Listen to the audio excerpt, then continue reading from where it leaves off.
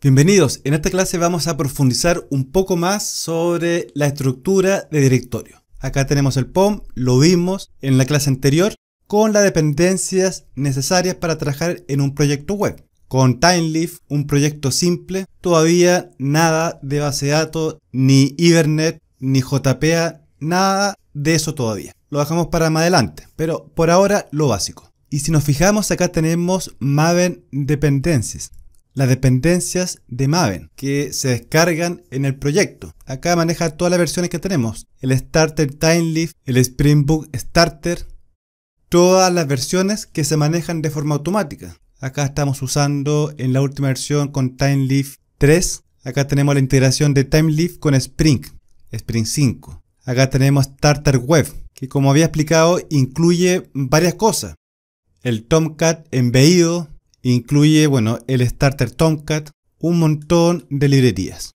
Spring Web, Spring Web MS, todo lo que es el core de Spring como AOP o la programación orientada a aspecto, Spring Context, Spring Beans, en fin, acá se maneja todo de forma automática, las versiones. No nos tenemos que preocupar, solamente agregamos los Spring Boot Starter algo, el componente, por ejemplo, web o DevTools, o TimeLeaf, o DataJPA, en fin. Y todo lo demás se maneja por debajo.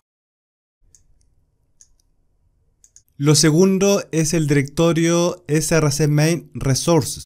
Acá tenemos la configuración Application Properties, la configuración principal de Spring Boot. Acá podemos sobreescribir cualquier configuración que viene por defecto. Viene vacío porque toda la configuración viene ya por debajo. Una configuración por defecto por ejemplo, si queremos cambiar el puerto 8080 de nuestro servidor Tomcat que está embebido, simplemente con server.port, dos puntos y el valor. Por ejemplo, 8090, por poner un ejemplo. Y eso es todo. El por defecto, bueno, el 8080. Si lo queremos cambiar, acá colocamos el valor. Puede ser con dos puntos o podemos usar el igual, da lo mismo, dos puntos o el igual para el valor. También es importante y hay que tener mucho cuidado es no colocar espacios en blanco después del valor. Por ejemplo, 80-90 y un espacio en blanco. Este es un error muy típico que ocurre en el curso. Sin querer colocan un espacio en blanco en cualquier configuración, no solamente en el server port, sino que en cualquiera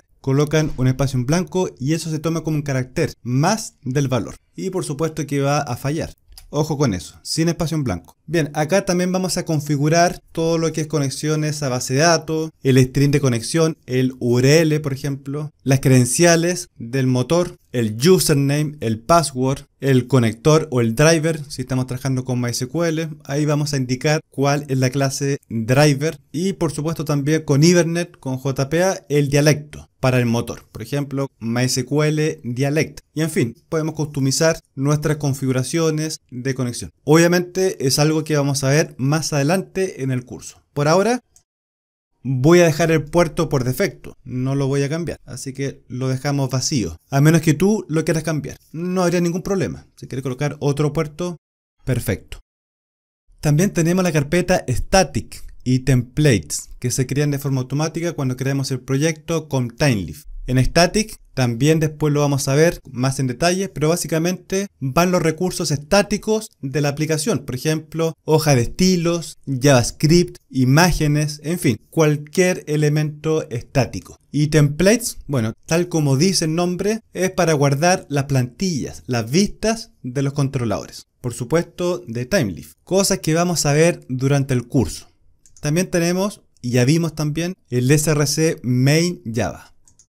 Acá tenemos todo el código fuente, las clases, nuestros packages. Acá tenemos el package base, raíz. Muy importante, la clase principal de Spring Boot, que es donde arranca la aplicación, con el método main.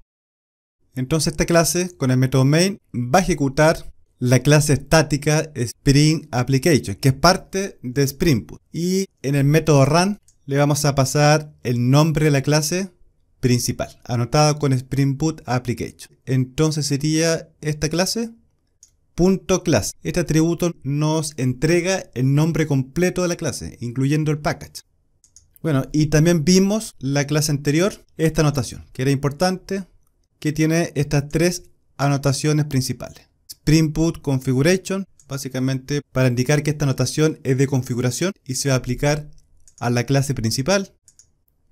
Para habilitar la configuración automática y para buscar todas las clases de Spring que están anotadas con component, con controller, con repository, con service, en fin, anotaciones que vamos a ver después para registrar estas clases como componentes o bins de Spring. En el contenedor quedan estos objetos guardados dentro de este contenedor. Y luego se pueden utilizar, inyectar. Obviamente en el caso del controlador queda registrado como un controlador, como un controller y eso lo maneja Spring de forma interna.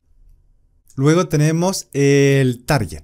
Cuando publiquemos y generemos el archivo jar a través de Maven Package, después lo vamos a ver, o Maven Install, acá se va a crear el empaquetado, el archivo jar que vamos a copiar y lo vamos a publicar después y lo podemos levantar a través del comando java-jar. También cosas que vamos a ver después. Acá hay muchas cosas que después vamos a ver. Estamos recién en la introducción. Eso sería lo más importante de nuestra estructura de directorio del proyecto. Después, en la próxima clase, vamos a crear el controlador. Es importante que el controlador siempre, igual que cualquier clase de Spring, esté dentro del package base. Acá. Así que por ahora quedamos hasta acá y nos vemos en la siguiente clase.